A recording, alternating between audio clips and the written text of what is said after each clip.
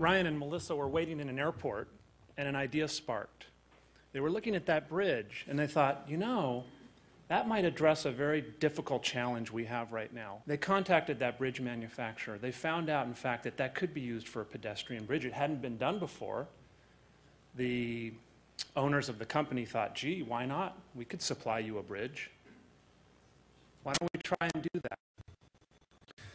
Put that idea together with a contractor and initiated a strategy that led to this December 13th, December 14th, December 15th. At one third the cost, far superior product, a product that was installed in three days and enabled what would have been a six month construction disruption to this multi building campus to be three days. Uh, a think different story. Tim had listened to a talk by Jim Timberlake at our Leaders Forum a few years ago. Uh, Jim talked a lot about prefabrication. And within hours of that talk, an interesting idea sparked. They're working on a large medical center in the Midwest, about 200 rooms, and contemplating well, now, how would you break this thing down? In fact, how, how might you consider prefabrication strategies for a hospital, very technical building?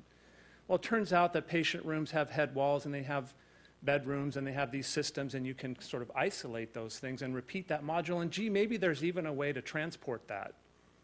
Took that idea to the contractor, to the owner. They got traction, and they just executed what I think is the first prefabricated patient room strategy, certainly in America. 300% increase in productivity. This entire operation took 18 workers and filled less than one dumpster. It was done in one third the time. There were no injuries in the warehouse operation. No injuries. And as many of you know, there are a lot of injuries on construction sites that, that you wouldn't hear about every day lacerations, eye injuries, broken bones. Remarkable transformation. And here's one of these units being installed.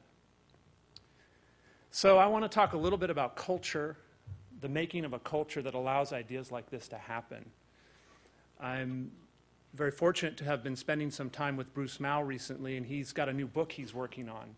And at least the working title is Let Go and Lead. I think that's very powerful. Really, really let go and lead. And our job as leaders in our firm is to serve those people right there. That's our job, to figure out how to get underneath them and enable their brilliance, enable the kind of creativity that I just reported in those two stories. This is a place where an idea doesn't care where it came from. So we've invested mightily in building a collaborative, horizontal, very empowered uh, culture, a role based culture, really, uh, where creativity is the key to new ideas and innovation. So it's interesting to step back a little bit, think about some of the things we're all hitting. This is, I think, something like many of you might be engaged with, certainly the large firms here. A new city in China, this is Qingdao, and you know, typical predicament 1,600 acres, you've got 40 days, millions of square feet to plan and design, and here's the brief, and we look forward to your submission. And it's those challenges that are showing us the way to the future. They're showing us the opportunities we have. Because there's no option but to completely rethink how you work. There aren't more hours in the day to do that well. And last time I checked, none of us are going to be able to resist these forces, these forces of globalization. So we've got to figure out how to work different. Now, in this case, it provoked us to integrate four studios around the world virtually and work in a new networked way. Now, that was April 2009. This is April 2010.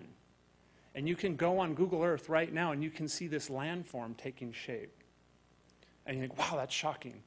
But I think, again, therein lies the opportunity.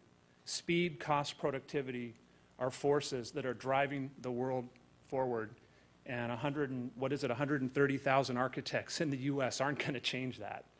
So, so I'm very intrigued with the new ways of working, the new ways of collaborating and networking that would enable us to thrive in that context. This was an interesting photo. It's a mobile hospital in Haiti. It reminds me of the Cooper Hewitt exhibit where the question, why design now? I think is a very interesting question with ideas about, you know, here are ways in which design is part of the answer.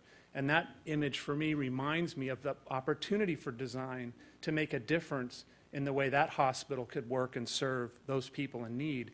And it reminds us that where there's great need and crisis, there's opportunity. So jumping to Hangzhou, China, one of the little case studies I want to share.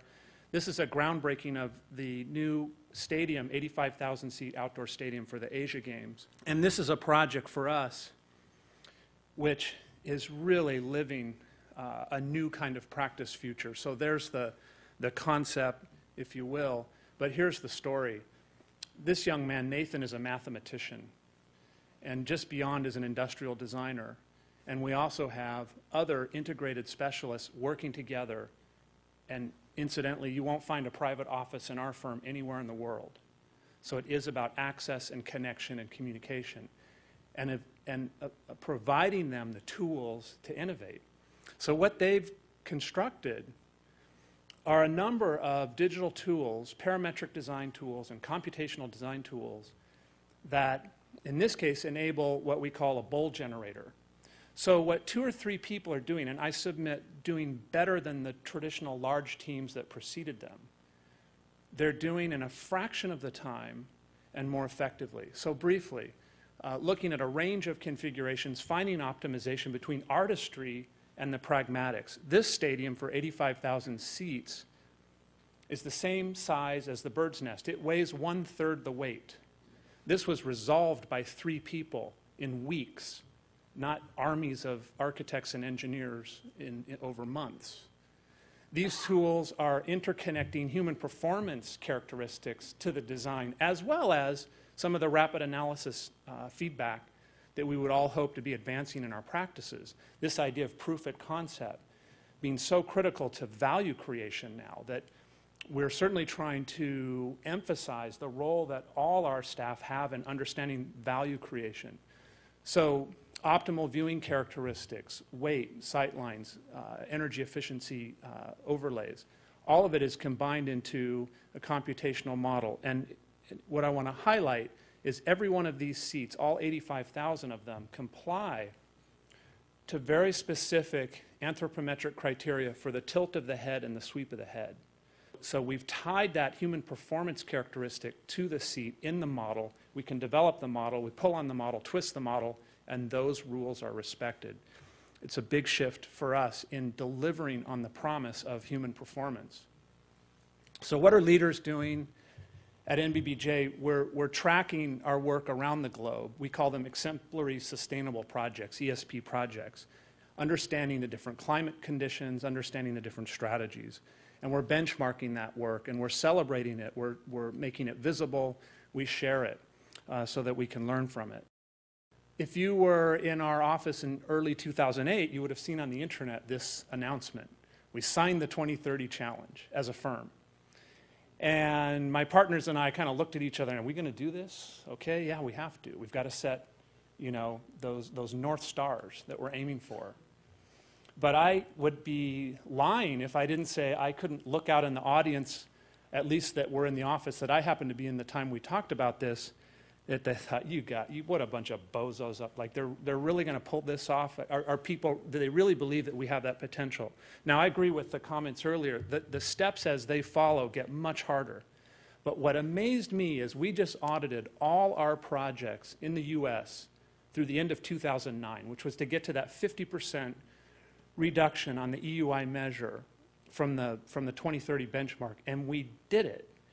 And I thought, wow. Now, how did that happen? I also agree. It was, it was the talent and the energy of our staff. It's the clients who are experiencing a significant awakening in the value this represents to their work, and also legislation.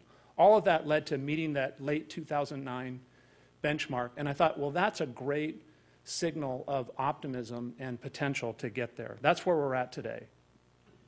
Behind that, 60% of our U.S. projects met that benchmark the size of those projects aggregate against the 100% brought the energy down 50%. That's 11 million square feet last year, all run through energy models. But how are we expanding that influence? We're investing, and I think there's been some good commentary about the importance of investing in research. And we've been developing studies around reducing energy in hospitals. And what we know with the significant hospitals that we work with is they have typically 2 to 4% profit margins. And energy is well over 2% of their operating costs. Now, it turns out hospitals use a lot of energy. And in fact, there are a number of strategies, very clear strategies, that we can reduce that energy by half. And so you're talking about a 25% to 50% increase to their operational bottom line. And that impact to their business on reinvestment, recruiting, those things is, is notable. What's exciting about this is it's been picked up by the DOE. So we're now working with the Department of Energy. We've been funded through a significant grant, and we're hoping to scale these ideas to the whole sector of healthcare and, and go beyond just the reach of even a large practice. So another project, we're building the Bill and Melinda Gates Foundation. It's a large urban campus. It's a project that we've been working on for about the last seven years. And it's notable from, I think, a number of perspectives, not the least of which is its benefactors. And of course, you would expect it to represent uh, sound thinking in sustainable design excellence. And I think while there are a number of strategies here that are noteworthy, it's, it's conventional from, from the perspective of, of pulling these things together, not unusual. Um, but what I can tell you is going back to, oh, about seven years ago, this was a client who said, look, we're, we're tracking on world health and U.S. education. That's it. This will not be a sustainable design demonstration project, but we'll be responsible. Um, we have a million gallon rainwater storage tank we have thermal en energy storage um, capacity on the site that, that recycles cold energy overnight, um, and, a, and a wide range of high performance features. But this is what I think is important. It's extending our skill and our aptitude with cost benefit proof and bringing intelligence to the argument. So there are many things I could touch on here, but the one I'll, I'll point out deals with the reduced cost in mechanical systems against an increased cost in the quality of the window wall and bringing together sort of that multivariant case with an intelligent client allowed for significant increases in investments. Now, you think, well, they have significant resources. That's true. But I know many of you have worked with clients like that, and in fact, my experience is the pressure on how every dollar is spent is, is far higher than, than what you might experience in your ordinary uh, environments. That's certainly the case here. So we benchmark our work. We looked at it in detail three years ago. I looked at it this year. We have about 130 significant projects moving through the practice. And out of that, we're tracking things like the quality of discovery, human experience that space should serve for performance, uh, concept clarity, sustainable design. But the tough news is, I think, and we think as a group of leaders, that 25% of our work really hits the mark in terms of the expectations we've set. So our challenge is then how does the 75 become the 25? And that's the orientation uh, of our strategies. We have 17 studios practicing around the world, and you can see how the evaluations have self-mapped uh, each of those studios and, and sort of some of the uh, coincident uh, elevations in, in, in the, the realization of, of those goals. So we know that our job is to make this happen to create an environment where creativity can thrive, where peer review, where collaboration, where workshops and charrettes, where when it's as good as it gets, what were you doing? That's what we want to create in our practice, and, and that's where great ideas are happening. Um, there's so many things to focus on, but this human experience piece is certainly something we've, we've been striving to differentiate around. That is to ask the question early what is it about this place that that can provoke or enable extraordinary performance within this client's enterprise? And, and how does space meet and serve that objective? How does it become a strategic advantage? And I like this image just because of the way it accommodates these two students, the way somehow that space anticipated what could happen there. Uh, perhaps this one is even more inspiring. This is a mobile science lab. This was a pro bono project. And our young designers also, through their own initiative, took on the challenge with one of our science clients. They said, well, we see you've got these vans that run around town. There's no, they're lacking design. We, we would love to get involved. In fact, they did. And I think that counter height and, and the color and, and the simple elements of de- design have stimulated this boy in a way that gives me great, great opti- optimism for the future. So, what's our challenge? Design to inspire life and human potential and shape the future we will inherit.